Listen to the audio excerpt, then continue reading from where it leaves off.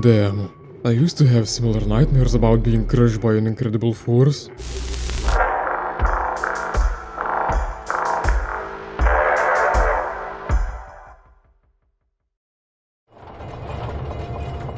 Oh neat, the game already has a content warning, so I don't have to make one. I still must warn you about spoilers. Fear and Hunger is one of those games that are best experienced with as little knowledge about them as possible. It is heavily exploration based, Knowledge is power. so to say, and even then some basic mechanics or imagery have plenty of shock value, which is the most effective when first experienced by yourself. I won't shy away from spoilers throughout the whole video myself, because there's plenty I want to discuss. Fear and Hunger is a game for men with hair, as some might say. It is brutal and unforgiving. It's like Hieronymus Bosch's paintings in the form of an RPG Maker game. It's like Kentaro Miura's Berserk at its darkest 100% of the time.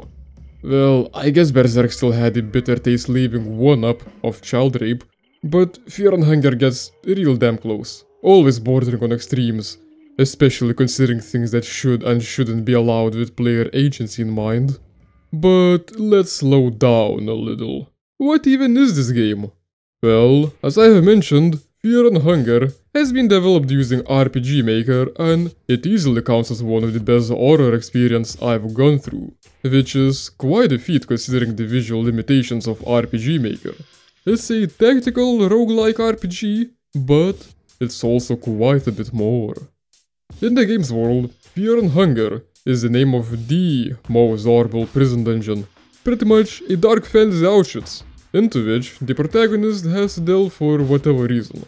The dungeons are full of terrible monsters and gore. Nearly everyone and everything will try to either kill or rape the player, often both. You can trust no one. Having seen the contents of Hunger, I could claim that it's the most black metal game I played, because black metal album covers seem like blueprints for the horrors that await. There are historically inaccurate medieval dudes, animal head dudes, occult rituals, strange contorted creatures, lots of sexual no-nos, cannibalism, limb dismemberment, old gods, need I say more? I will regardless. You might tell that this sort of stuff mainly adds up to shock value, and that's not the best way to create scares, and I would agree, but surprisingly, Fear and Hunger does atmospheric horror and tension masterfully as well, mixing both the feeling of creeping dread and pure shock at a very nice proportion. For me to be able to provide examples, let's go to the beginning. When starting the game, the player needs to pick a character. All of them have different backstories, motivations, and skill sets. There's the Himbo Mercenary, who is likely the easiest class to play as, due to him being able to pick locks right from the get-go. The Not Casca TM Knight, who is a pretty great melee fighter. The DSBM Enthusiast, if those can be called enthusiasts. Dark Priest, the only magic-oriented character who prefers the company of the undead over people. And lastly, the Outlander, a Conan the Barbarian looking fellow who won't shy away from cannibalism. Upon choosing a character, the player is very likely to die within the first 15 minutes of their first run. They might get their legs cut off when raped by one of the three-legged prison guards. What do you mean the middle one is not a leg? They might step on a rusty nail and die from an infection. They might even get ganged by hounds if they don't move from the first area hastily enough. But if the player manages to delve deeper, more and more tension sets in. The visibility in the dark is poor. There might be horrors unimaginable behind every corner, and the whole game is accompanied by sound design that might not be the most professional, but it couldn't be more fitting. The soundtrack is pretty minimal, but all the instruments sound out of tune, a little bit as if the music is being played from within these unescapable dungeons, where there are no conditions to maintain the instruments or sane minds. The sound effects are also nasty. There might be some booming noises in the background, ominous wailing, suggesting there's something terrible lurking around. It really puts the player on edge.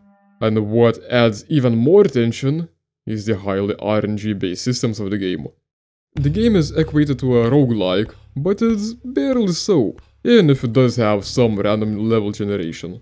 The general layout of places is always very similar, and the player doesn't unlock anything other than the knowledge learned upon a failed run.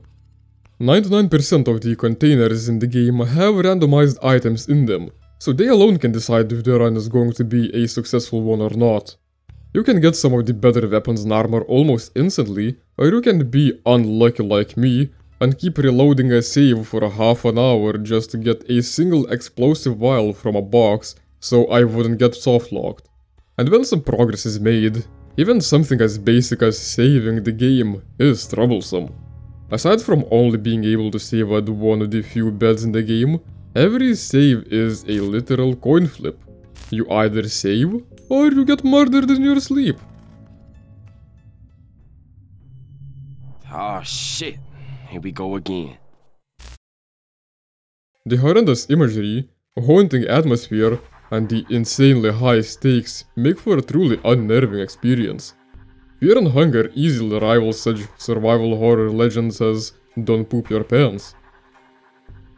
After thoroughly enjoying the game, it feels almost weird to me that I knew of Fear and Hunger's existence for years at this point, but never really wanted to play it, thinking it would be just another JRPG type of thing, which I'm not really into.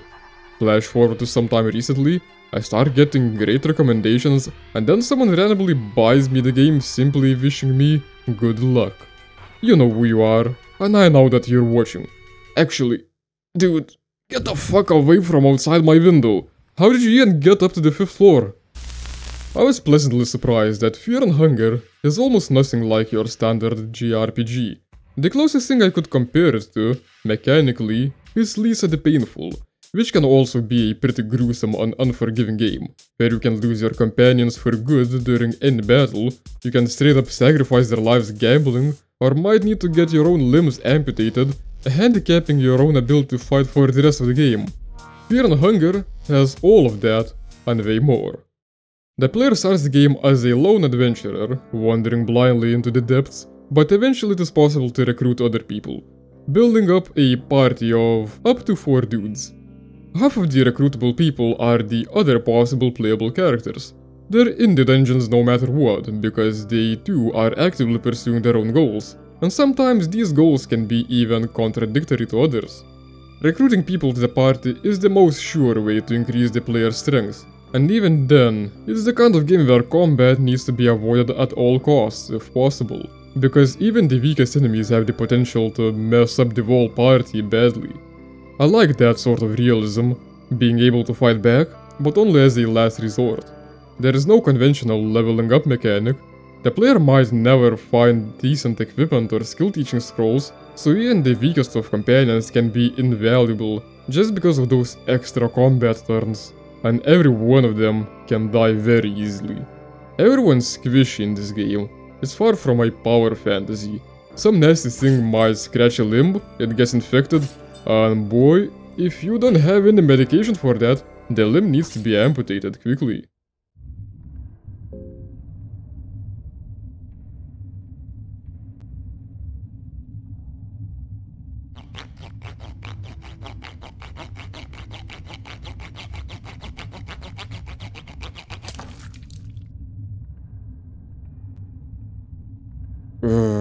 Gruesome stuff doing that to yourself with no painkillers. I'm sorry, did I say limb? I meant to say emergency barbecue. Aside from the brutal combat and RNG, there are also survival mechanics that make the whole trip even harder. The two meters that have to be maintained for every character are very true to the game's title.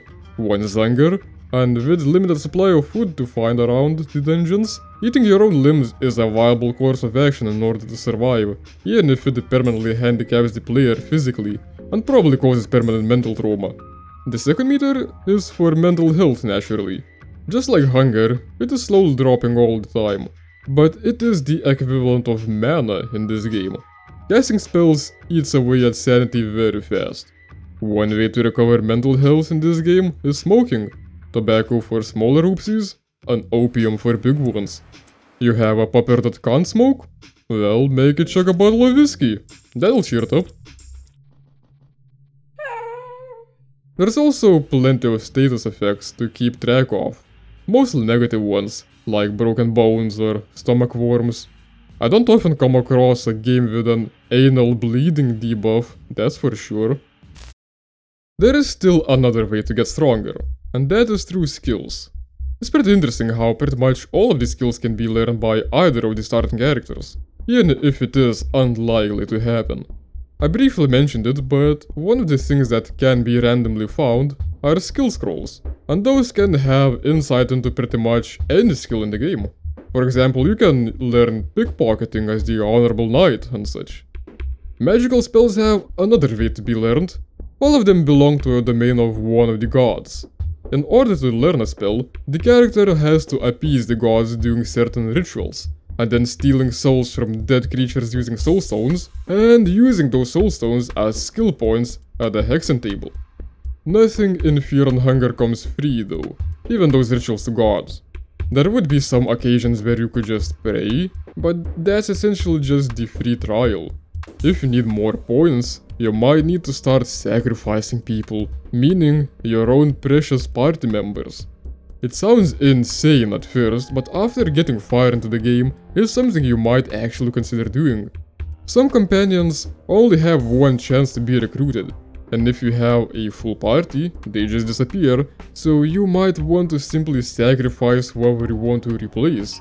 Or you might show love to them instead on top of a ritual circle to... Oh fuck, what's that? The game just keeps throwing punches, and there are very few healing items around, especially if you're unlucky finding crafting recipes. One way to regain health is to attend an orgy. Huh. Everyone seems to be bisexual in this game. I don't know if that's the developer projecting, but that's pretty cool. The first time is free, but every other one is a coin flip again. You either heal, or you lose your mind and track of time, resulting in fucking until inevitable death from exhaustion. Eating pussy is too tame? Well, what about actually eating pussy? There's another orgy for horny cannibals that restores hunger.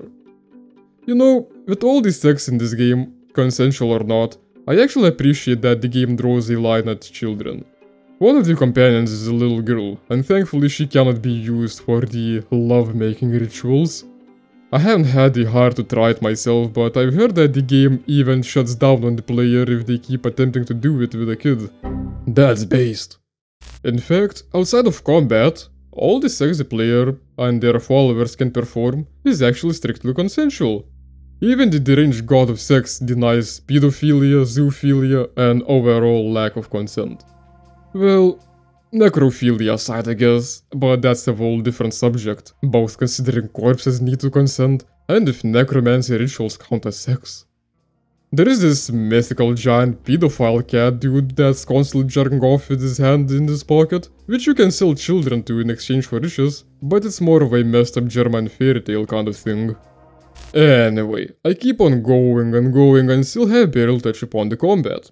Combat in Fear and Hunger is pretty unique.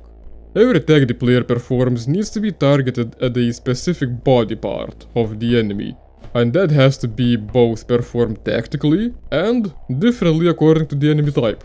For example, chopping off heads is usually an instant kill, but not for zombies who don't really need them anyway. You know, like those stories about chickens still walking without heads or brain dead TikTokers doing the concussion challenge. Chopping off heads is a sure tactic against most foes though, but it's tricky to perform since the head is the hardest to hit. To make it easier, you'll want to chop off all of the other limbs first, prolonging the combat. Chopping off legs usually makes it hard to dodge, and chopping off hands can greatly reduce the enemy's moveset. The smart thing to do is to keep chopping limbs, escaping from combat, and then immediately restarting it, denying the enemy's turn, because the damage carries over between encounters. All the same stuff can be done to the player too. losing legs permanently makes the player's move speed slower, which is pretty much a death sentence by itself. Not just because it'll be impossible to outrun enemies, but also because more time spent going between places means losing more hunger and mental health, slowly depriving the player of all consumables. Losing arms prevents the player from using items. You can still live with one and wield a one-handed weapon, but lose both, and you're Worthless. All these possible choices and outcomes, the random generation and coin flips including, feels like a very deliberately crafted, nerve-wracking experience. That sort of insanity doesn't happen randomly. It's a game that keeps testing the player's decision making in the most dark conditions. The whole game is not just a heavily tactical RPG, but a constant moral dilemma also. The inhabitants of the dungeon do say that spending time in fear and hunger can lead even the best people to unimaginably vile actions. I can confirm that some nasty places do make one lose the sense of morality, because everything around is fucked. And indeed, the first time the game feels nearly impossible and absolutely terrifying, but if you keep at it, you experience more and more of the horrors, and that experience, not the characters, but the players, is what makes it possible to get further and further, being capable of more and more nasty deeds both because of the dull senses and the knowledge that these actions are necessary for survival. It's a hellhole completely separated from the rest of the world, where laws and morals don't apply. My only complaint for the game is the randomness element though. I can admit that it adds a lot to the tension of the game, and I wouldn't want it to be removed, but I would love a game mode without it. At least the 50-50 coin flips, it would get pretty annoying when I would get to a point where I would know exactly what I need to do, but I would have to keep re-rolling my playthrough just because of bad RNG denying me some items I absolutely need, or just needlessly messing me up in a fight that should be doable. There are maybe around 5 hours of completely unique content in the game, but what I would consider a full playthrough comes closer to 20 or more, partially because of the need to constantly replay.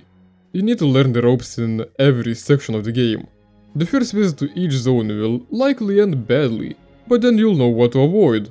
Although, even then you'll have to replay them several more times because of bad luck too. It's a little funny though, I keep complaining about Dark Souls type of difficulty, but the way I describe fear and hunger makes it seem almost harder.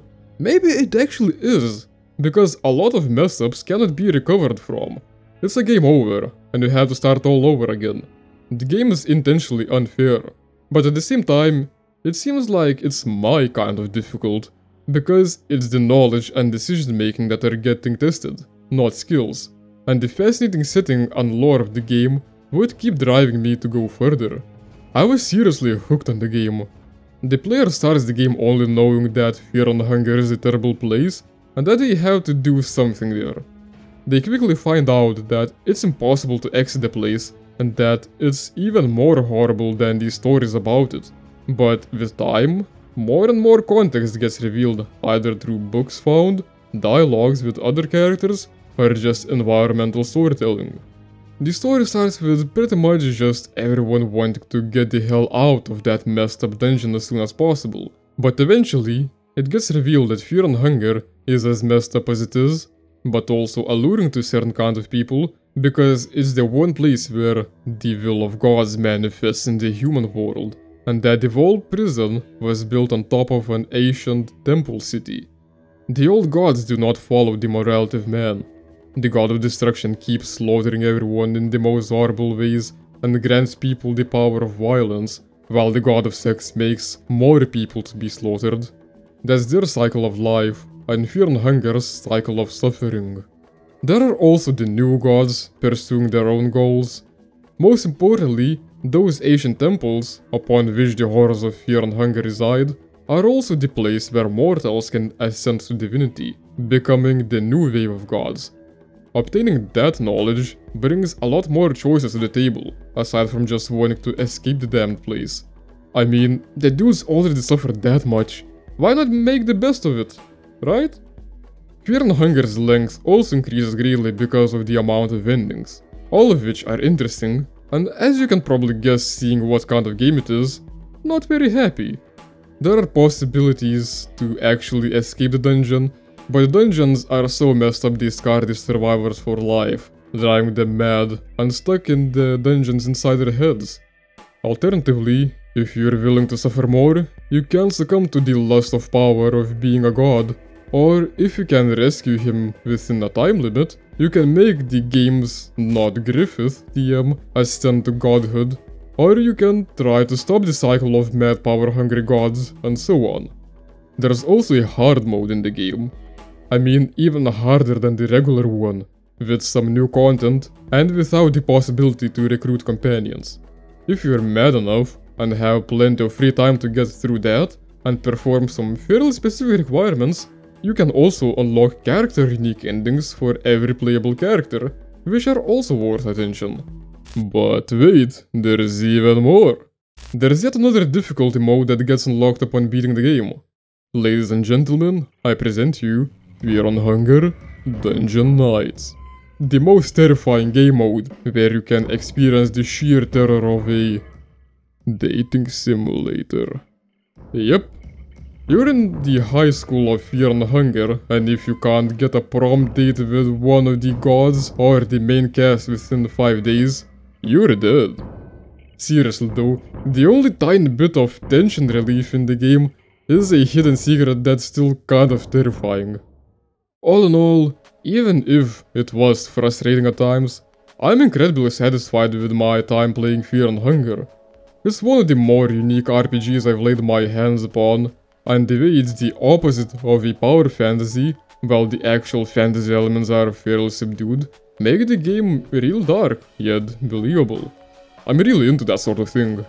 On top of it, Fear and Hunger has something close to an alternative history setting, referencing places like Europa, Vinland, Uldegord, which is likely the game's version of Scandinavia, or one of the gods being a perverted version of Jesus Christ.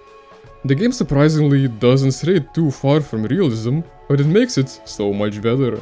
It saddens me a little that the game seems to be not very well known at all, but I can understand why. Just like black metal, it is not for everyone. It's abrasive, its contents can be repelling for a lot of people, it's rough, not easy to consume, it's an acquired taste, but once you get into it, it just oozes atmosphere and darkness. It's fascinating, yet it feels like it's meant to stay underground. Underground deep in the dungeons of a ruined civilization. The dungeons of fear and hunger. What am I even talking about? Although I like the game a whole bunch, it takes a specific kind of masochist to play Fear and Hunger. I could recommend it to the sort of people who enjoy heavily atmospheric games with punishing mechanics such as The Void, Pathologic, Lisa the Painful, Exanima, Garage Bad Dream Adventure, and so on. It's a disturbingly wonderful experience piecing the plot of the game together bit by bit and figuring out how to get past all the adversities. So, if you haven't played Fear and Hunger yourself, and any of this sounded interesting, there's still plenty to see in the game that I haven't shown or told explicitly in this video. Surviving the game is a challenge, but if it clicks, it's great. Now I wonder, what's this? There is a bloody toilet hole. You could fit through the hole. You see nothing but darkness, however. The smell is a mixture of death, blood, feces, and semen. Sounds bad. But I have to check it out, maybe it's a secret passage, why else would it be here?